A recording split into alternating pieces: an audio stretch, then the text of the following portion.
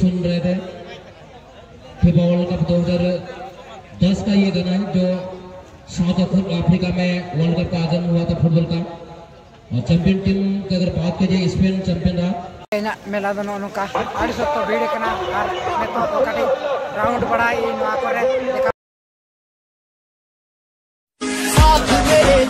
हो आसमान की तरह।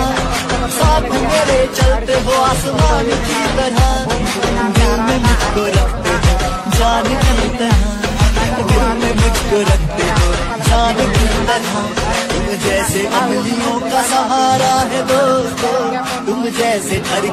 का सहारा है दोस्तों ये दिल तुम्हारे प्यार का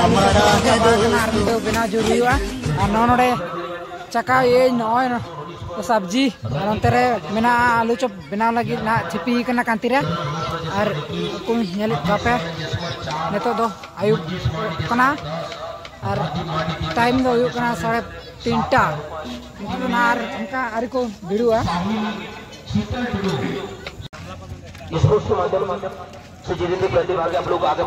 सबसे पहले आपको इंडोरेंस में डेवलप करना होगा।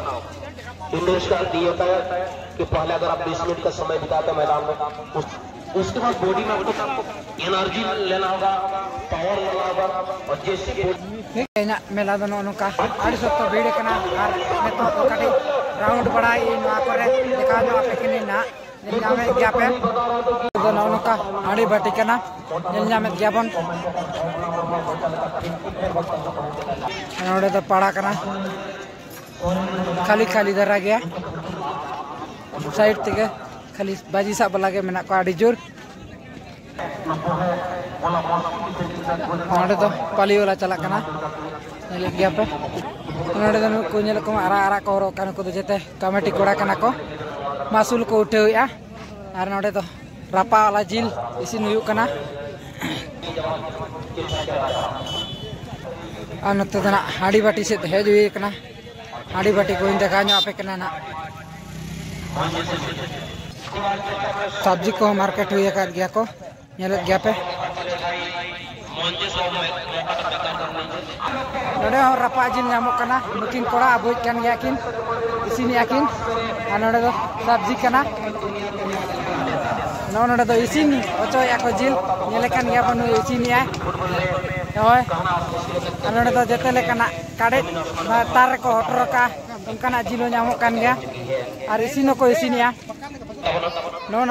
ना पे ना तो और इसी बीच खेल शुरू होते हुए हर हर महादेव की ओर से लिया गया और शुरुआती क्षण में आक्रामक की ओर बढ़ रहे हैं हर हर महादेव की टीम जानते हैं किसी भी तरह से बहुत ही अच्छी शॉटिंग लेकिन वहाँ पे गोलकीपर दिलीप के द्वारा अच्छा जजमेंट और बॉल को अपने कब्जे में लेने में कामयाब जी जी हाँ ये शॉट अगर गोल में तब्दील होता तो सूरज लोहार का शानदार गोल हम लोग कर सकते थे। बेहतर फ्रीसर के रूप में जाना जाता है सूरज लोहार, लेकिन अच्छी गोलकीपिंग को दर्शाते हुए दिलीप मुर्मू बॉल को रोकने में कामयाब रहे। फ़िलहाल पहली सफलता के लिए जीते हुए दोनों टीम के खिलाड़ी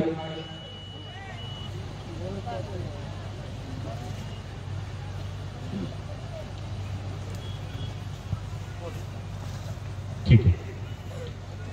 तो एक अच्छा मौका बन सकता था, लेकिन उतने ही मैं तारीफ़ करना चाहूँगा दिलीप मुर्मू की अच्छी गोल कीपिंग तो शुरुआती क्षण क्षण में हमें देखने को मिला कि हर महादेव की टीम आक्रामक की ओर बढ़े वह मैं सोली की बात करूँ तो भी आक्रमण खेल के लिए जाने जाते हैं। दोनों ही टीमों में काफ़ी अनुभवी खिलाड़ी मौजूद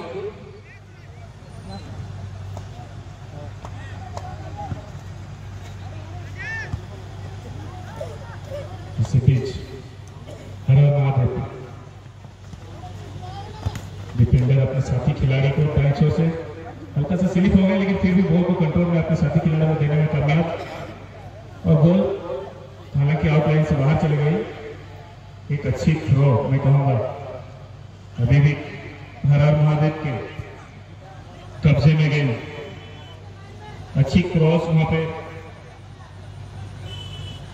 सचिन हेमब्रॉम के पास, जो कि टीम के कैप्टन भी है। उसके बाद अभी भी मौका बन सकता शॉट का लेकिन यहाँ पे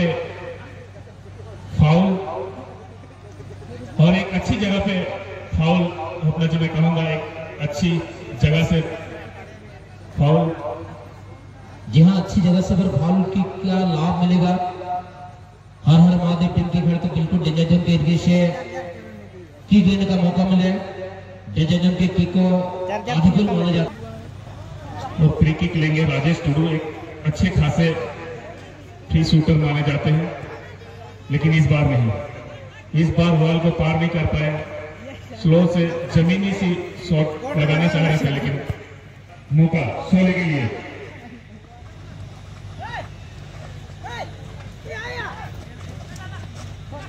अभी भी सोले आक्रमण कर सकते हैं, लेकिन हल्की शॉट में फास्ट बॉलर पर अगर यही सेकंड पोस्ट में अगर क्रॉस कर देते तो कुछ चांस बनता लेकिन फ़र्स्ट पोस्ट में गोलकीपर हमेशा रेडी रहते हैं। गोलकीपर की यही कोशिश रहती है कि फ़र्स्ट पोस्ट को हमेशा कवर करके रखे इसलिए गोल गोलकीपर लेकिन एक खराब शॉट हार का सामना ज़रूर के लेकिन मैदान के अंदर अपने वीर के तरह वीर के तरह लड़े को। गेम जहाँ ने आरा गए नुकू तो जैसे कमेटी कोड़ा कना को आने से तो गेम चबाए ना गेमो और कमेटी ला स्टेज का डेकोरेशन नौ नौका सजा हुए कना।